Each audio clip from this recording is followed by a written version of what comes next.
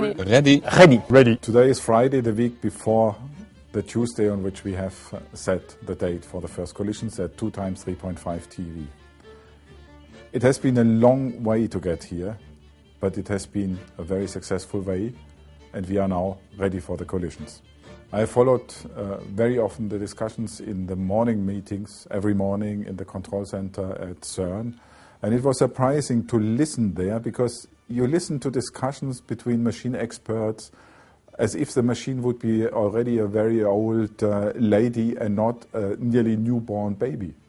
It was fantastic to see how far advanced we are with this machine.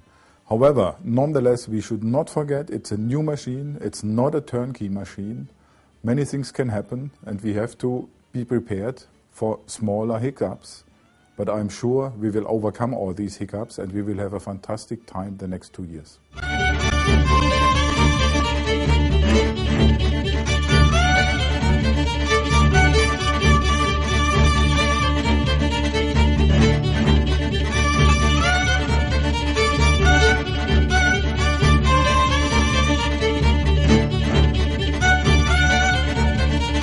It's a great moment. We are ready for collisions.